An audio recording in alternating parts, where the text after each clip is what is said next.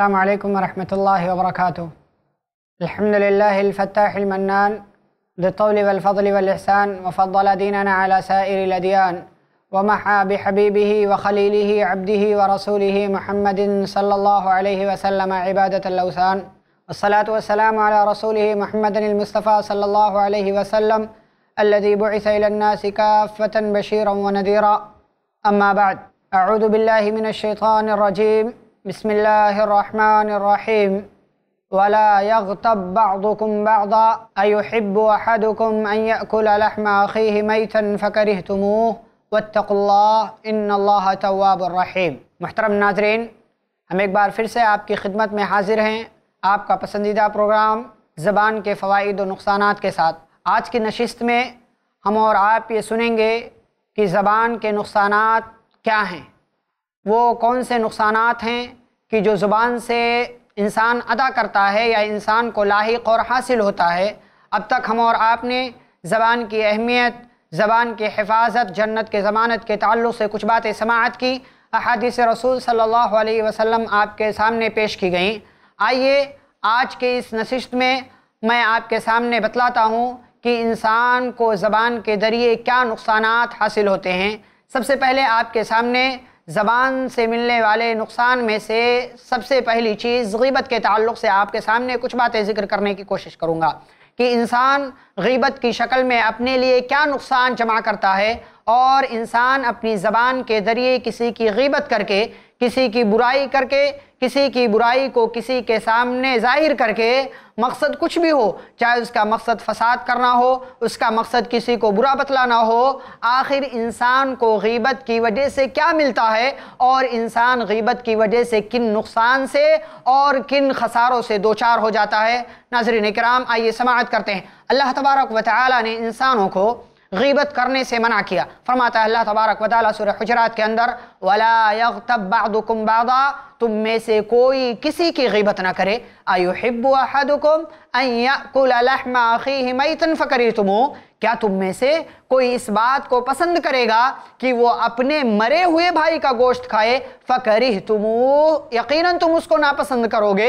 انسان کوئی کسی مردہ جانور کا یا اسی طرح سے کسی مردہ انسان کا گوشت نہیں کھا سکتا، تو اپنے بھائی کا گوشت، اپنے خون کا گوشت وہ کیسے کھا سکتا ہے؟ چہ جائے کہ وہ مرا ہوا ہو یا زندہ ہو۔ اللہ تبارک و تعالیٰ نے فرما وَاتَّقُ اللَّهِ۔ اللہ تبارک و تعالیٰ سے ڈرتے رہو۔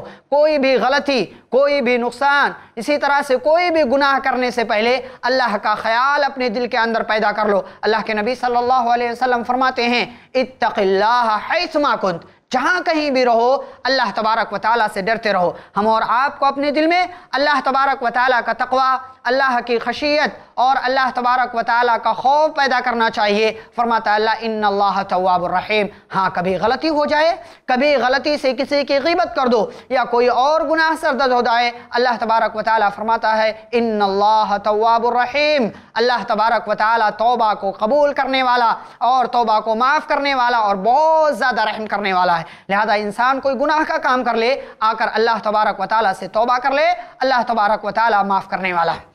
تو اللہ تبارک و تعالیٰ نے غیبت کرنے سے انسانوں کو منع کیا اور غیبت کرنے والے کی مثال اس بات سے دی کہ گویا کی غیبت کرنے والا اپنے مرے ہوئے بھائی کا گوشت کھاتا ہے۔ اللہ کے نبی صلی اللہ علیہ وسلم نے ایک دن صحابہ کی مجلس میں سوال کیا اتدرون مل غیبہ میرے صحابہ، کیا آپ جانتے ہیں کہ غیبت کیا چیز ہے؟ غیبت کی تعریف کیا ہے؟ غیبت کا انٹروڈکشن اور غیبت کا تعارف کیا ہے؟ اللہ کے نبی صلی اللہ علیہ وسلم نے صحابہ کرام سے سوال کیا۔ صحابہ کرام نے جواب دیا، اللہ و رسول عالم۔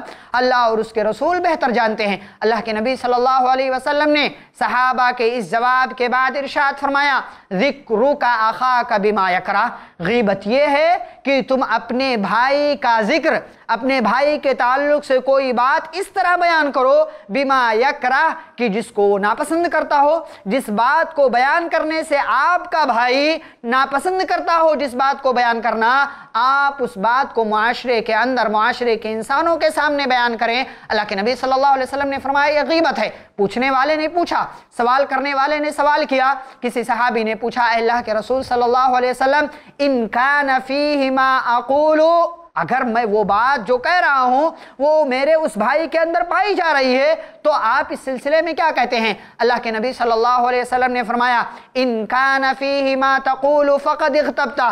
میرے پیارے صحابی جو چیز تم کہہ رہے ہو کہ اگر میں جو چیز بیان کر رہا ہوں، جو برائی معاشرے کے لوگوں کے سامنے ظاہر کر رہا ہوں، آپ کا کیا خیال ہے؟ اگر تم وہ بات بیان کر رہے ہو جو اس کے اندر ہے فقد اغتبتا یہی تو غیبت ہے۔ یہی تو غیبت ہے کہ تم کسی کی برائی کو جو اس کے اندر ہے، معاشرے کے لوگوں کے سامنے بیان کرو۔ وَإِن يَكُنْ فِيهِ مَا تَقُولُ فَقَدْ بَحَتَّا لیکن اگر وہ برائی اس کے اندر نہیں ہے، اگر وہ گناہ اس کے اندر نہیں پایا جا رہا رہا ہے، وہ غلطی سامنے والے انسان کے پاس نہیں پائی جا رہی ہے۔ فقط بہتا، تو تم نے اس پر بہتان لگایا۔ تم نے اس پر الزام لگایا کہ فلاں انسان نے کوئی غلطی نہیں کی تھی۔ اس کے باوجود معاشرے کے لوگوں کے سامنے آ کر تم نے کہا، فلاں انسان اچھا نہیں ہے، فلاں انسان گنہگار ہے، فلاں انسان زانی ہے۔ اسی طرح سے اور بھی کوئی برائی اس کے معاشرے کے لوگوں کے سامنے بیان کی جائے۔ تو غیبت کی تعریف حدیث رسول صلی اللہ علیہ وسلم کی روشنی میں یہ ہوئی کہ ہم اور آپ کسی بھائی کی برائی، معاشرے کے لوگوں کے سامنے یا کسی دوسرے انسان کے سامنے اس طرح کرے کہ ہمارا بھائی اس کو ناپسند کرتا ہو اور وہ بات اس کے اندر پائی جا رہی ہو۔ یہ غیبت کہلائے گا۔ لیکن اگر وہ برائی اس کے اندر نہ پائی جا رہی ہو، اللہ کے نبی صلی اللہ علیہ وسلم نے فرمایا فقط بہتا یہ بہتان ہے لہٰذا ہم اور آپ اپنی زندگی دیکھیں۔ ہم اور آپ اپنا مطالعہ کریں، اپنے گریبان میں جھانکیں ہم اور آپ کس قدر لوگوں کی برائیاں معاشرے کے اندر بیان کرتے ہیں۔ حالانکہ اللہ کے نبی صلی اللہ علیہ وسلم فرماتے ہیں من سطر مسلمن سطرہ اللہ فی الدنیا والآخرہ، جو مسلمان، جو انسان کسی مسلمان بھائی کی گناہ کو چھپائے گا سطرہ اللہ فی الدنیا والآخرہ۔ اللہ ایسے انسان کی برائی کو بھی، اللہ ایسے انسان کے گناہوں پر بھی پردہ ڈال دے گا، دنیا کے اندر بھی۔ اور آخرت کے اندر بھی۔ لہٰذا یہ فائدہ ہے ہمارا، ہم اور آپ کسی کی غیبت نہ کریں۔ غیبت کرنے سے نقصان ہوتا ہے۔ غیبت کرنے سے ہم اور آپ کو گناہ ملتے ہیں۔ اور سامنے والے کی برائی معاشرے کے اندر پھیل جاتی ہے اور وہ معاشرے کے لوگوں میں برا تصور کیا جاتا ہے۔ اور اگر ہم نے چھپا لیا، اگر ہم نے کسی کی غیبت نہ کر کے ہم نے اس برائی کو اپنے سینے کے اندر دفن کر لیا، اس راز کو راز ہی رکھا، کسی کی غیبت نہیں کی۔ اللہ تبارک و تعالی ہماری کسی برائی کو ہمارے کسی گناہ کو جو ہمارے علاوہ کسی اور کو نہیں معلوم ہے، اللہ تبارک و تعالی دنیا میں بھی چھپا لے گا اور قیامت کے میدان میں بھی اللہ اس پر پردہ ڈال دے گا۔ حضرت ابو بکرہ رضی اللہ تعالیٰ عنہ بیان کرتے ہیں۔ جیسا کہ گزشتہ نصیص کے اندر میں نے بیان کیا کہ اللہ کے نبی صلی اللہ علیہ وسلم نے فرمایا ان دماءکم و اموالکم و اعراضکم حرام علیکم کہ کسی مسلمان کی عزت سے کھلواڑ نہیں کرنا چاہیے۔ ہر مسلمان کا اپنا مقام ہے، ہر مسلمان کی اپنی عزت ہے۔ کسی کی عزت سے کھلواڑ کرنے کا حق کسی کو نہیں ہے۔ اگر مقصد نیک ہے، ہم اور آپ یقیناً بیان کر سکتے ہیں تاکہ سامنے والا برا انسان اچھے راستے پر آ جائے۔ لیکن اگر کسی کی عزت سے کھلواڑ کرنا ہے، اللہ کے نبی صلی اللہ علیہ وسلم نے اس کی اجازت نہیں دی۔ اما عائشہ رضی اللہ تعالیٰ عنہ سے ایک حدیث مروی ہے۔ بیان کرتی ہیں قلت للنبی صلی اللہ علیہ وسلم، غیبت کس قدر بھیانک گناہ ہے؟ غیبت کس قدر عظیم جرم ہے؟ اما عائشہ رضی اللہ تعالیٰ عنہ کی اس حدیث سے ہم اور آپ اندازہ لگائیں اور اپنے ان گناہوں کا تصور کریں جن گناہوں کو ہم روز آنا کرتے آتے ہیں اور ہم اور آپ پرواہ نہیں کرتے۔ فرماتی ہیں، اللہ کے رسول صلی اللہ علیہ وسلم سے میں نے فرمایا، میں نے کہا اللہ کے نبی صلی اللہ علیہ وسلم سے، حسبک من صفیتی کدا و کدا آپ کے لیے حضرت صفیہ رضی اللہ تعالیٰ عنہ کا ایسا اور ایسا ہونا کافی ہے۔ اما عائشہ رضی اللہ تعالیٰ عنہ کی سوکن ہے حضرت صفیہ رضی اللہ تعالیٰ عنہ۔ اللہ کے نبی صلی اللہ علیہ وسلم کی ایک بیوی ہیں، ام المومنین ہیں، مومنوں کی مائیں ہیں۔ اللہ کے نبی صلی اللہ علیہ وسلم کی ایک چہیتی بیوی اما عائشہ رضی اللہ تعالیٰ عنہ فرماتی ہیں ان کے تعلق سے نبی صلی اللہ علیہ وسلم سے آپ کا حضرت صفیہ کا ایسا اور ایسا ہونا آپ کے لیے کافی ہے۔ محدثین بیان کرتے، قال بعض الروات، بعض راویوں نے کہا تعنی قصیرتن اما عائشہ رضی اللہ تعالیٰ عنہ کی مراد اس جملے سے یہ تھی کہ حضرت صفیہ پست قد ہیں۔ ان کا قد چھوٹا ہے، ان کا قد لمبا نہیں ہے، وہ چھوٹی ہیں۔ سوکن کی برائی بیان کر رہی ہے اللہ کے نبی صلی اللہ علیہ وسلم کے سامنے، اللہ کے نبی صلی اللہ علیہ وسلم کے حضور میں۔ اما عائشہ رضی اللہ تعالیٰ عنہ کی اس جملے کو سننے کے بعد نبی صلی اللہ علیہ وسلم نے کیا جملہ ادا کیا؟ اپنی زبان سے کیا فرمایا آپ صلی اللہ علیہ وسلم نے؟ ناظرین اکرام ہم اور آپ سنیں، ہم اور آپ غور کریں، ہم اور آپ روزانہ کتنے لوگوں کی عزتوں سے کھلواڑ کر جاتے ہیں اور ہم اور آپ ہنس کر اس بات کو یوں ہی ٹال دیا کرتے ہیں۔ اللہ کے نبی صلی اللہ علیہ وسلم نے اپنی سب سے چہیتی بیوی سے فرمایا، لقد قلت کلیمتن تم نے ایسی بات کہہ دی۔ اے عائشہ، لقد قلت کلیمتن تم نے ایسی بات کہہ دی ہے، لو مزجت بماء البحر لمزجت ہو کہ اگر تمہاری اس بات کو سمندر کے پانی کے اندر ملا دیا جائے، سمندر اپنی تمام تر وسعتوں کے باوجود تمہارے اس جملے کی وجہ سے اس کی مٹھاس یا اسی طرح سے اس کے ذائقے اور ٹیسٹ میں تبدیلی آ جائے گی۔ اور وہ کڑوا پن کا شکار ہو جائے گا۔ اللہ کے نبی صلی اللہ علیہ وسلم نے کس قدر غیبت کی حولناکی یا غیبت کی خطرناکی کی طرف اما عائشہ رضی اللہ تعالیٰ عنہ کی توجہ مبزول کرائی ہے۔ فرماتی ہیں، قالت وَحَقَيْتُ لَهُ إِنسَانًا یہ تو کسی کی برائی بیان کرنی ہوئی۔ یہ تو کسی کی عزت سے کھلواڑ کرنا ہوا۔ مزید فرماتی ہیں اما عائشہ رضی اللہ تعالیٰ عنہ وَحَقَيْتُ لَهُ إِنسَانًا میں نے ایک انسان کی نقل کی آپ صلی اللہ علیہ وسلم کے سامنے، فقالا۔ آپ نے فرمایا، ما احب انی حقیت انسانا وان لی کذا وکذا میں اس بات کو پسند نہیں کرتا۔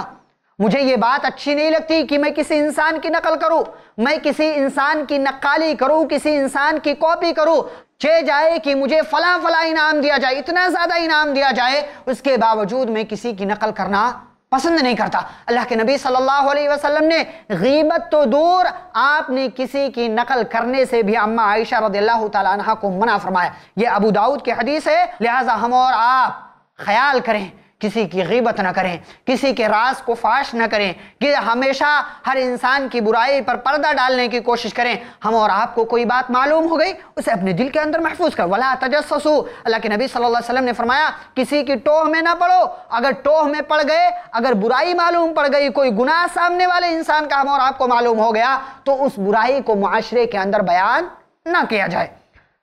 حضرت انس رضی اللہ تعالیٰ فرماتے ہیں، کس قدر غیبت عظیم گناہ ہے۔ اور اس پر کیا سزا ملتی ہے انسان کو؟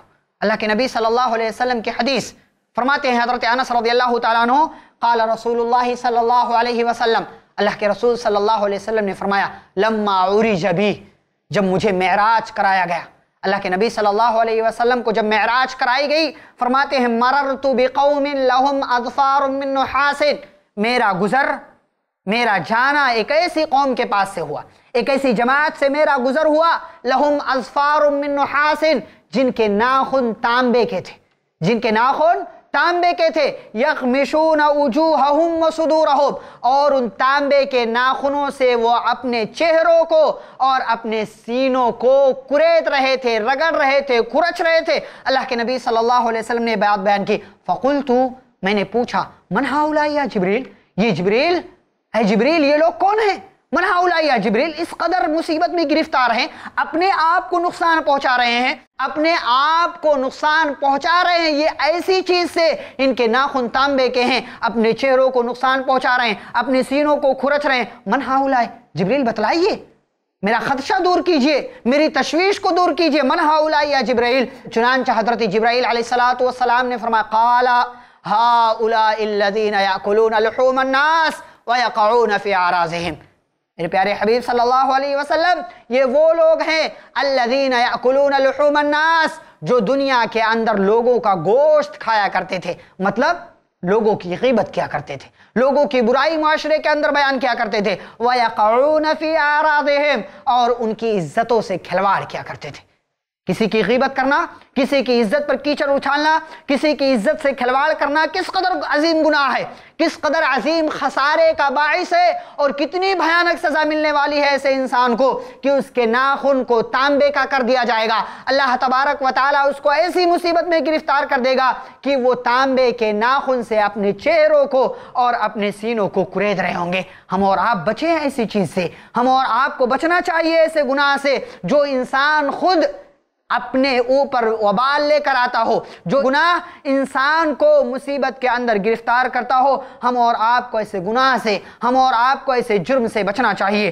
حضرت ابو حریرہ رضی اللہ تعالیٰ عنہ کی ایک اور روایت میں آپ کے سامنے پیش کروں۔ مسلمان مسلمان کی غیبت کرتا ہے۔ مسلمان کو معلوم ہے، اللہ کے نبی صلی اللہ علیہ وسلم نے غیبت سے منع فرمایا ہے۔ مسلمان کو معلوم ہے، اللہ تبارک و تعالیٰ نے غیبت کرنے سے منع کیا ہے۔ مسلمان کو یہ بات بھی معلوم ہے کہ غیبت زنا سے بھی زیادہ سخت برائی ہے۔ اس کے باوجود مسلمان مسلمانوں کی غیبت کرتا ہے۔ مسلمان مسلمان کی برائی معاشرے کے اندر بیان کرتا ہے۔ مقصد یہ ہوتا ہے کہ اس کی برائی کو لوگ سمجھیں، اس کو برا تصور کریں، اس کو برا خیال کریں۔ حضرت ابو حریرہ رضی اللہ تعالیٰ عنہ بیان کرتے ہیں، ان رسول اللہ صلی اللہ علیہ وسلم قال اللہ کے رسول صلی اللہ علیہ وسلم نے فرمایا کل المسلم علی المسلم حرام دمہ ومالہ وعرضہ ایک مسلمان کی عزت اس کا مال اور اس کا خون دوسرے مسلمان پر حرام ہے۔ لہٰذا انسان جس طرح اپنی عزت کو حرام سمجھتا ہے، جس طرح انسان یہ سوچتا ہے کہ کوئی اس کی عزت کے ساتھ کھلواڑ نہ کرے،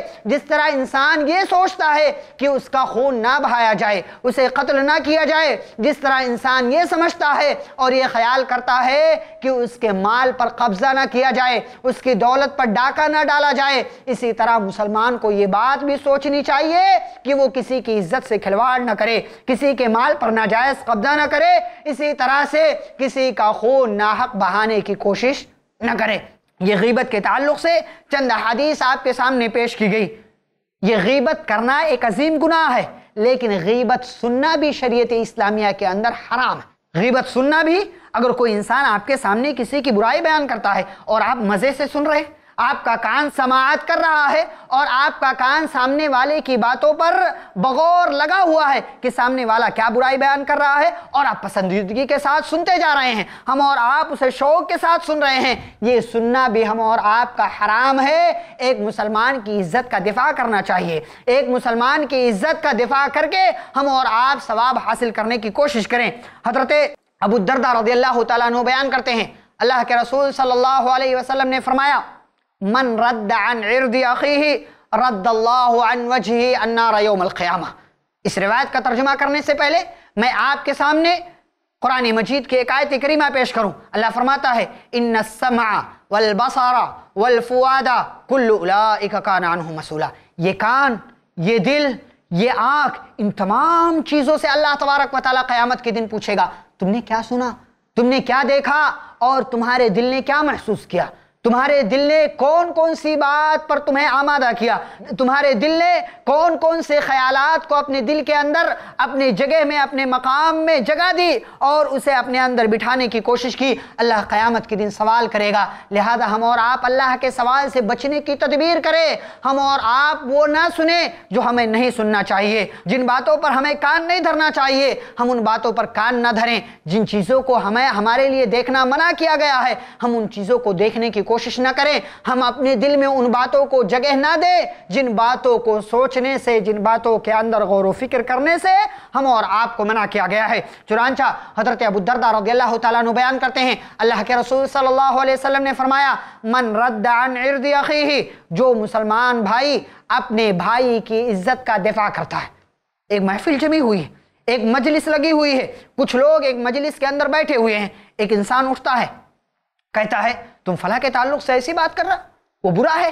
اس کو میں نے دیکھا تھا، فلاں مقام پر وہ گیا تھا، جہاں اچھے لوگ نہیں جاتے، جہاں صرف برے لوگ جاتے ہیں۔ اس کی عزت سے کھلواڑ کر رہا ہے۔ اللہ کے نبی صلی اللہ علیہ وسلم نے فرمایا، اگر ایسا کسی مجلس کے اندر کیا جاتا ہے، ایسا کسی مسلمان کے سامنے کیا جاتا ہے، اللہ کے نبی صلی اللہ علیہ وسلم نے فرمایا، اور پھر یہ سننے والا مسلمان بھائی اپنے مسلمان بھائی کی عزت کا دفاع کرتا ہے۔ فائدہ کیا ملے گا؟ ایڈوانٹیج کیا مل رہا ہے؟ رد اللہ عن وجہ النار یوم القیامہ۔ اللہ کے نبی صلی اللہ علیہ وسلم فرماتے ہیں، اللہ اس کے چہرے کو قیامت کے دن جہنم سے پھیر دے گا۔ کتنی خوش نصیبی ہے۔ کتنا بڑا مقام مل رہا ہے۔ اگر ہم اور آپ کسی کی عزت کا دفاع کر رہے ہیں، اگر ہم اور آپ کسی کی عزت سے کھلواڑ کرنے والے کی زبان کو چپ کرا دے رہے ہیں۔ میرے بھائی، آپ ایسا جو بول رہے ہیں، آپ کی زبان سے ایسا جو فلاں بھائی کے تعلق سے نکل رہا ہے، یہ غلط ہے۔ وہ انسان ایسا نہیں ہے۔ اس انسان کے اندر نیکیاں ہیں، اچھائیاں ہیں۔ وہ انسان نیکیوں کا پتلا ہے۔ وہ انسان ایسا نہیں ہے۔ آپ جو برائی اس کے تعلق سے بیان کر رہے ہیں، وہ برائی اس کے اندر نہیں پائی جاتی۔ ایک ایسا ہی واقعہ اللہ کے نبی صلی اللہ علیہ وسلم کے سامنے کیا گیا۔ حضرت عطبان بن مالک رضی اللہ تعالیٰ عنہ بیان کرتے ہیں۔ ایک لمبی حدیث ہے، مشہور حدیث ہے۔ اللہ کے نبی صلی اللہ علیہ وسلم قام النبی صلی اللہ علیہ وسلم یصلی۔ اللہ کے نبی صلی اللہ علیہ وسلم نماز پڑھنے کے لیے کھڑے ہوئے۔ فقالا آپ نے فرمایا این مالک بن الدخشم فرمایا، آپ نے مالک بن دخشم کہا فقال رجل ایک صحابی نے، ایک انسان نے کہا، ذالک منافق. وہ منافق ہے۔ لا يحب اللہ ولا رسولہ وہ اللہ سے بھی محبت نہیں کرتا، وہ اللہ کے رسول صلی اللہ علیہ وسلم کو بھی پسند نہیں کرتا۔ ظاہر سی بات ہے، جو اللہ سے محبت نہ کرے، جو نبی صلی اللہ علیہ وسلم سے محبت نہ کرے، وہ مسلمان نہیں ہو سکتا۔ وہ مسلمان تو دور کی بات ہے، وہ انسان مسلمانوں کی صف میں شامل ہونے کا حق بھی نہیں رکھتا۔ لہٰذا اللہ کے رسول صلی اللہ علیہ وسلم وہ منافق ہے۔ اللہ کے رسول صلی اللہ علیہ وسلم نے مالک بن دخشم کی عزت کی جانب سے دفاع کیا۔ آپ نے فرمایا، فقال النبی صلی اللہ اللہ علیہ وسلم لا تقل ذالکا میرے پیارے صحابی ایسا نہ کہو ایسا نہ کہو تمہیں ایسا کلمہ اپنی زبان سے ادا نہیں کرنا چاہیے اللہ ترا کیا تم اسے نہیں دیکھتے قد قال لا الہ الا اللہ یرید بذالک وجہ اللہ کیا تم نے اسے نہیں دیکھا کہ وہ اپنی زبان سے لا الہ الا اللہ کا کلمہ کہتا ہے وہ اس بات کی گواہی دیتا ہے کہ اللہ کے علاوہ کوئی معبود نہیں اور محمد صلی اللہ علیہ وسلم اللہ کے رسول ہیں یرید بذالک وجہ اللہ، اور یہ کلمہ کہہ کر وہ اللہ کی رضا چاہتا ہے، وہ اللہ کی خوشنودی چاہتا ہے۔ وَإِنَّ اللَّهَ قَدْ حَرَّمَ عَلَى النَّارِ۔ اور اللہ تبارک و تعالی نے ایسے شخص کو جہنم پر حرام قرار دے دیا ہے۔ اللہ نے جہنم کو ایسے شخص پر حرام قرار دے دیا۔ من قال لا الہ الا اللہ، جس نے لا الہ الا اللہ اپنی زبان سے ادا کر دیا اس کا مقصد کیا ہے؟ یبتغی بذالک وجہ اللہ۔ یہ کلمہ کہہ کر وہ اللہ کی خوشنودی چاہتا ہے، وہ اللہ کی رضا چاہتا ہے، وہ یہ کلمہ اپنی زبان سے ادا کر کے اس بات کا ارادہ رکھتا ہے۔ اس کا مقصد یہ ہوتا ہے کہ اللہ تبارک و تعالی اس کی بخشش کر دے گا۔ اللہ اس سے خوش ہو جائے گا۔ اللہ اس کے گناہوں کو معاف فرما دے گا۔ کیا تم نے نہیں دیکھا کہ مالک بن دخشم لا الہ الا اللہ کا کلمہ کہتا ہے؟ کیا آپ نے نہیں دیکھا کہ مالک بن دخشم لا الہ الا اللہ کہہ کر اللہ کی رضا چاہتے ہیں، اللہ تبارک و تعالیٰ کی خوشنودی چاہتے ہیں۔ لہٰذا میرے پیارے صحابی، ان کی عزت پر کیچڑ نہ اچھالو، ان کو منافق نہ کہو، انہیں مسلمانوں کی صف سے نکالنے کی کوشش نہ کرو۔ ناظرین کرام، آپ نے دیکھا کہ آپ صلی اللہ علیہ وسلم کے سامنے ایک مسلمان کی، یا اسی طرح سے کہہ لیجیے، ایک انسان کی برائی بیان کی گئی۔ ایک صحابی نے اس انسان کو منافق کہہ دیا اور یہ بات کہا کہ اللہ کے نبی صلی اللہ علیہ وسلم سے وہ انسان محبت نہیں کرتا۔ اللہ تبارک و تعالیٰ سے محبت نہیں کرتا۔ آپ نے دیکھا کہ کس طرح پیارے رسول صلی اللہ علیہ وسلم نے اس انسان کی عزت کا دفاع کیا اور سامنے والے کو سمجھایا، میرے پیارے صحابی، ایسا معاملہ نہیں ہے۔ وہ انسان، کلمہ الہ الا اللہ، محمد الرسول اللہ کا اقرار کرتا ہے۔ اسی طرح کا ایک واقعہ کعب بن مالک کے تعلق سے بیان کیا جاتا ہے۔ فرماتے ہیں، اللہ کے رسول صلی اللہ علیہ وسلم نے فرمایا، ما فعل کعب بن مالک؟ کعب بن مالک کے ساتھ کیا ہو گیا؟ غزوہ تبوک کے موقع سے تین صحابی پیچھے رہ گئے۔ مرارہ بن ربی حلال بن امیہ، کعب بن مالک۔ آپ صلی اللہ علیہ وسلم نے ہر معاملے میں آگے آگے رہنے والے کعب بن مالک رضی اللہ تعالیٰ عنہ۔ لیکن غزوہ تبوک میں سستی اور کاہلی کی وجہ سے پیچھے رہ گئے۔ فرمایا آپ صلی اللہ علیہ وسلم نے، کیا ہو گیا کعب بن مالک کو؟ کہنے والے نے کہا کہ اس کی فصل نے، اس کی کھیتیوں نے اور اس کے نقش و نگار والی چادروں نے یعنی اس کے مال و دولت نے اسے روک لیا۔ حضرت معاد بن جبل رضی اللہ تعالیٰ عنہ نے دفاع کیا۔ حضرت کعب بن مالک کی عزت کا دفاع کیا۔ کعب بن مالک ایسے نہیں ہے وہ ہر نیکی کے کام میں آگے بڑھ کر وہ کام کرنے والے ہیں۔ ہر نیکی کے کام کو ادا کرنے والے ہیں۔ وہ ایسے انسان نہیں ہے ہو سکتا ہے کسی وجہ سے اس غزوے سے پیچھے رہ گئے ہوں۔ آپ نے دیکھا حضرت معاد بن جبل رضی اللہ تعالیٰ عنہ نے اللہ کے نبی صلی اللہ علیہ وسلم کے پیارے صحابی کی عزت کا دفاع کیا اور لوگوں کو بتلایا، سامنے والے انسان کو جو انسان کعب بن مالک کی برائی بیان کر رہا تھا، اسے بتلایا کہ کعب بن مالک ایسے نہیں ہے کعب بن مالک منافق انسان نہیں ہے کعب بن مالک رضی اللہ تعالیٰ عنہ ایسے انسان نہیں ہے کہ ان کا مال، ان کی کھیتیاں ان کے باغات، اسی طرح سے ان کی چادریں انہیں اللہ کے نبی صلی اللہ علیہ وسلم کے ساتھ جانے سے روک دیں۔ معاملہ ایسا نہیں ہے۔ حضرت قعب بن مالک رضی اللہ تعالیٰ عنہ کی عزت کا دفاع کیا۔ صحابی رسول حضرت معاد بن جبل رضی اللہ تعالیٰ عنہ نے۔ یہ حدیثیں یہ اللہ کے نبی صلی اللہ علیہ وسلم کے کلمات اور اللہ کے نبی صلی اللہ علیہ وسلم کے الفاظ۔ ناظرین کرام، ہم اور آپ کو یہ بتلا رہے ہیں، ہم اور آپ کو اس بات کی تنبیہ کر رہے ہیں، یہ نصیحت کر رہے ہیں کہ ہم اور آپ بھی کسی کی غیبت نہ کریں، کسی کی عزت سے کھلواڑ نہ کریں اور اگر ہمارے سامنے کسی کی عزت سے کھلواڑ کیا جائے، کسی کی غیبت کی جائے، کسی کی برائی بیان کی جائے، تو ہم اور آپ اس کی عزت کا دفاع کریں اور اس کی عزت کا دفاع کرتے ہوئے ہم اور آپ انسان کو بتلائے کہ فلاں انسان ایسا نہیں ہے، فلاں انسان کے اندر برائی نہیں ہے۔ ہم اور آپ حدیث رسول صلی اللہ علیہ وسلم سے فوائد حاصل کریں، سبق حاصل کریں۔ یہ کچھ باتیں تھیں جو غیبت اور اس کی تباہ کاریوں کے تعلق سے بیان کی گئی غیبت خود عظیم گناہ ہے غیبت کا سننا بھی حرام ہے اور مسلمان بھائی کی عزت کا دفاع کرنے سے ہم اور آپ کو فائدہ ہوتا ہے۔ اللہ تبارک و تعالی قیامت کے دن ہم اور آپ کے چہرے کو جہنم سے محفوظ رکھے گا۔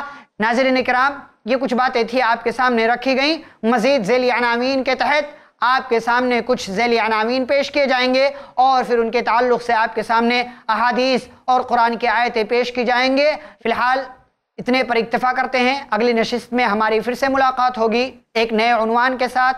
السلام علیکم ورحمۃ اللہ وبرکاتہ۔